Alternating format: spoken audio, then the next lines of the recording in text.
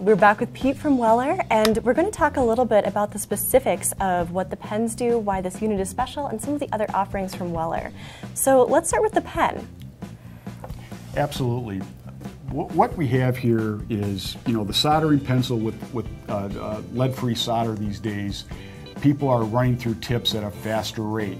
So this unit is a uh, basically a, a, control unit that has several features in it that will allow temperature setback, uh, the time that it sets back, uh, all those, and I'll go through this menu with you and show you exactly what I'm talking about. To do that, we have to hit these buttons right here, this one and that one simultaneously. And now we're in the programming menu. The very first program is the setback temperature. And we sit here and we have control of that.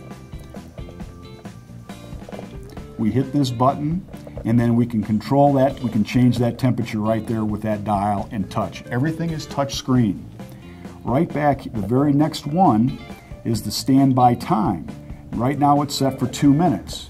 I'm gonna, I can turn this off, I can turn it out to 10 minutes or anything in between. Wait, wait, so standby time, what does that mean? So that means that when I set it for one minute, if these tools haven't been used in one minute, they're gonna power themselves down.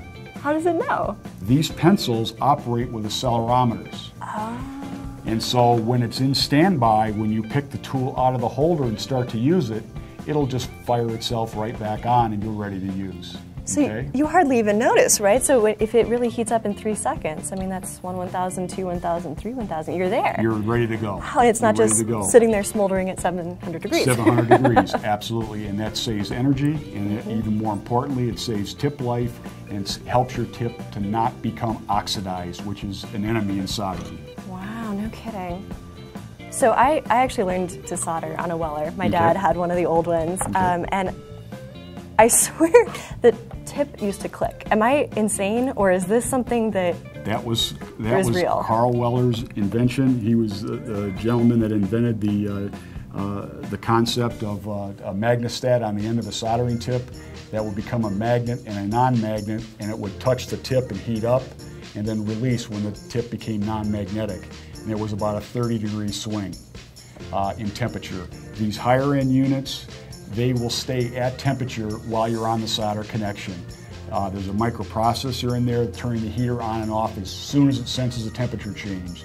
So these are very stable uh, temperature uh, soldering tools during the soldering process. Do you know what kind of swing we see now? I mean, if 30, uh, is it like 5? Depending on the application, it'll be within 10 degrees. Nice, okay. probably a lot less. Wow. And there's all kinds of different soldering tips available for different applications. We just have the one that came with the unit right now. In this programming mode, I'll give you one word of caution. Mm -hmm. uh, we can also turn the port off by hitting both of those buttons simultaneously. And the port, I just turn this port completely off. Some people do that by accident and to get it back on, all you do is hit those buttons and you're right back on again, just like that. Excellent. Okay. Now in that programming mode, there are several other factors in here. There's temperature, standby, mm -hmm. uh, standby time. Mm -hmm. There is auto off. That feature is if you go home and leave this uh, uh, soldering tool on, it will turn itself off uh, and so you, you, know it won't stay on all night long at, at full temperature.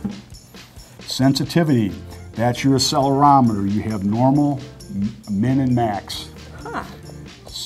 You have an offset function. That's a complicated one to talk about, uh, but uh, it's that function is in this as well. Okay. Uh, performance mode is these tools, if you have a component that cannot see a certain temperature, -huh. you can tell this thing to ramp up rapidly, you can tell it to ramp up normally, or you can have it ramp very slowly where you won't get any overshoot in the temperature. When you're in a production environment, you want fast, fast, fast, but if you're in a, uh, uh, working with a very sensitive component that mm -hmm. can't see a higher temperature than what the component is rated for, you can control this uh, heat up on this tool so that you won't overshoot. Very important. That's fantastic Here is, you can program multiple languages, Okay. okay? Uh, you can work in Fahrenheit or Celsius. Then you can password protect it. So you can set a password when you have all your settings done and nobody can go in and change them. and the rest of these are just miscellaneous, like a screensaver and things like that. Wow. These tools are smart pencils. They have memory inside the pencil, so if I have four or five of these set up down a bench row and the operator picks up this pencil and plugs it into another WX station down the row, the pencil will remember the settings and that'll be updated into the station.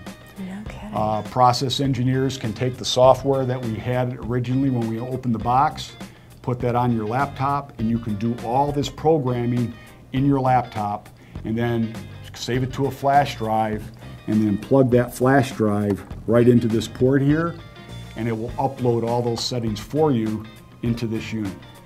well, that's that's an even deeper dive. I That's a love deep- it. That's there's a lot to this unit.